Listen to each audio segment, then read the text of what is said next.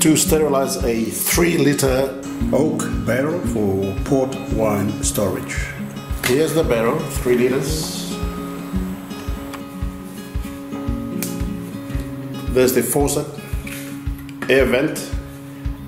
This barrel is lined with a silver foil lining, but the process of sterilization can be applied to bare wooden barrels as well.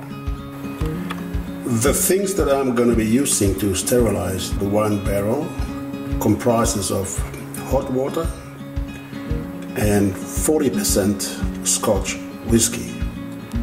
And the liquid that I'm going to be storing in the wine barrel is this De Premium Old Tawny Port Wine. So to sterilize it, I use first boil water, then 40% alcohol, and after that I rinse it with the liquid that I'm going to be storing in the barrel. In this case, it's going to be port wine. Use hot water to clean the barrel and hot water can burn, so be mindful. After rinsing the barrel with hot water, you pour the hot water down the sink. After that, 40% alcohol, good old Scotch whiskey.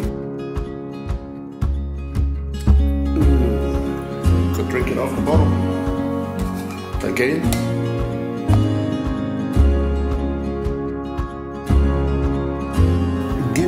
vigorous shake and then pour it down the sink. Next, rinse the whiskey out with hot water. Then you pour the water out down the sink.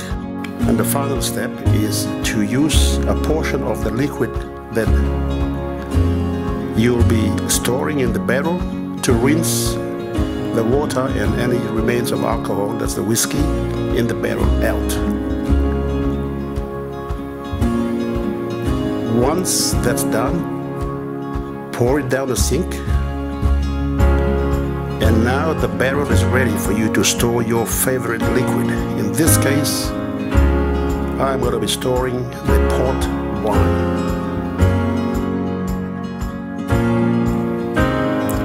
And oh, for the faucet, yes, I sterilized that as well. I dip it in alcohol, then rinse it in hot water, and she's good as gold to go.